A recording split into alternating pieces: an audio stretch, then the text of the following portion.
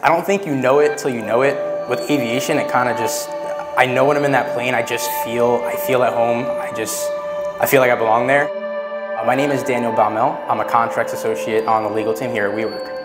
So one of my biggest passions outside of work is actually flying. I know my dad used to take me to air shows and I'd, I'd see like movies, visit museums, and I kind of fell in love. And then recently I got involved with this organization called uh, Pilots to the Rescue, which does some amazing missions saving um, animals as well as getting people in need of medical help to their places of need. So today we're picking up 12 dogs to bring them from North Carolina, which is where they were slated to be euthanized. We're gonna load them up and bring them back to New York where they have a chance at uh, a forever home.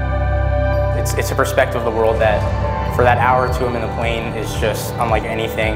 I'm doing the thing that I feel like I was born to do along with helping someone is indescribable. It's, it's the best feeling I've had in a long time.